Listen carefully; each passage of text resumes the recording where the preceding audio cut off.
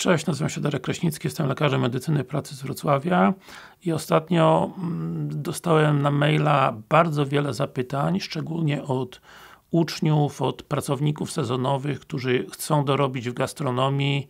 No, pomimo COVID-a troszeczkę nasze morze ruszyło y, z branżą gastronomiczną i zastanawiają się, jak wyrobić po raz pierwszy książeczkę zdrowia i no najlepiej byłoby pójść do Sanepidu. We Wrocławiu, to jest ulica Składowa, ale Sanepid w tej chwili ma dużo inne problemy na większe na głowie niż badania kału ale y, jeżeli się tam już dostaniesz, zrobisz te badania kału, no to wtedy wystarczy tylko przyjść do mnie na ulicę Kmicica 1 i w miarę możliwości taką książeczkę wyrabiam Ci od ręki. Sprawa jest prostsza, jeżeli przedłużasz książeczkę, to przychodzisz od razu, pomijasz ten element, pomijasz ten etap sanepidu wojewódzkiego, natomiast jeżeli no, masz nóż na gardle, potrzebujesz coś na wczoraj, to po prostu skontaktuj się ze mną mailowo,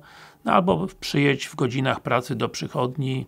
Oczywiście obowiązuje Cię pełna y, profilaktyka sanitarna, sanitarno-epidemiologiczna, maska lub y, inne zarządzenia, które w międzyczasie Minister Zdrowia zdąży wydać, a o których powiedzmy dzisiaj nie wiem. Także książeczka zdrowia naprawdę nawet w takim ciężkim sezonie jak COVID-19 nie musi być problemem i praktycznie postaram się ją załatwić od ręki. Także mówił Darek Kraśnicki, lekarz medycyny pracy z Wrocławia.